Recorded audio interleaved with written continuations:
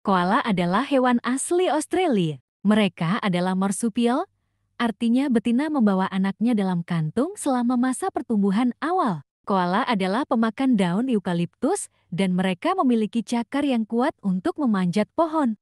Mereka tidur sebagian besar waktu, hingga 20 jam sehari, untuk menghemat energi karena makanan eukaliptus memiliki nilai gizi rendah. Koala adalah hewan yang dilindungi karena jumlah populasi mereka yang terus menurun akibat perusakan habitat dan gangguan manusia.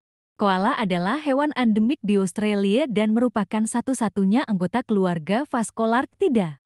Meskipun sering disebut sebagai koala bear, mereka sebenarnya bukan beruang. Mereka adalah marsupialia, seperti kanguru dan wombat.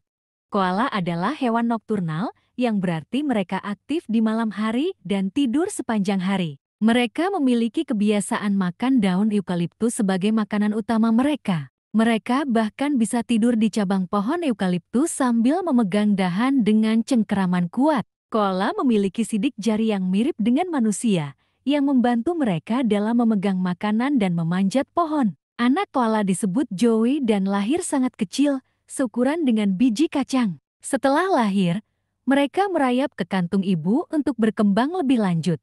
Populasi koala terancam karena hilangnya habitat mereka, penyakit, serangan predator, dan insiden tabrakan dengan kendaraan di wilayah perkotaan. Semoga fakta-fakta ini menarik untuk Anda. Apakah ada lagi yang ingin Anda ketahui tentang koala?